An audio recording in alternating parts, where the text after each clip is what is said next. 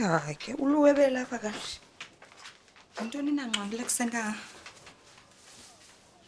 yena ukuthula Eish, inkinga zasekhaya. yho ke phofu nam ndizamile ukuthi ngqwa kodwa andikwazi into endiyivayo yilaa sarha wayi thixo wam sibulele utata abantu Ah, Sanda, akuthina. Ngigedeza ngibulele. hayi ke phofu nendlela wena ubosiphakamele ngayo hayi iyancomeka inkosi kakhulu. Vele ngabona nje ukuthi yabo lo usibambe ngokusigwajisa.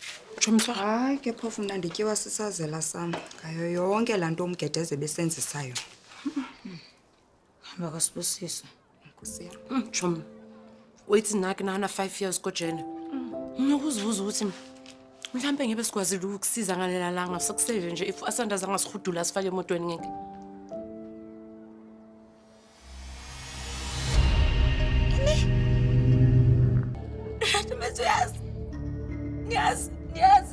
Asanda ukuthi ngizime kanjani tshela.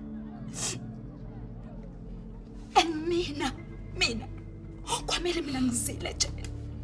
Ngikade bafethu bangikade sanetshela ngizile. Ngazi ukuthi ngitshele bani ngemizwa yami. Nathula bafethu nathula.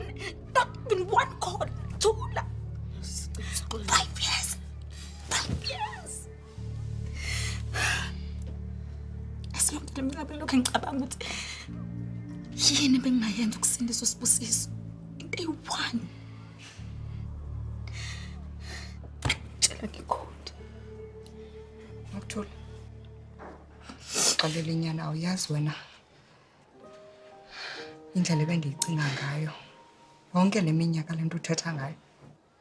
Bendingenanjongo zonishiya phaya nobabini. Kodwa yathi iqenqgeleka iminyaka. Ndazishiya emva mna. Ndazilibala. Ndayeka uphila. ibingathi ngamanye amaxesha ndingaya kwindawo apho ndingavele ndicime khona kube mnyama kodwa ke kwafika uCharles uCharles wandenza umntu uCharles wandenza umntu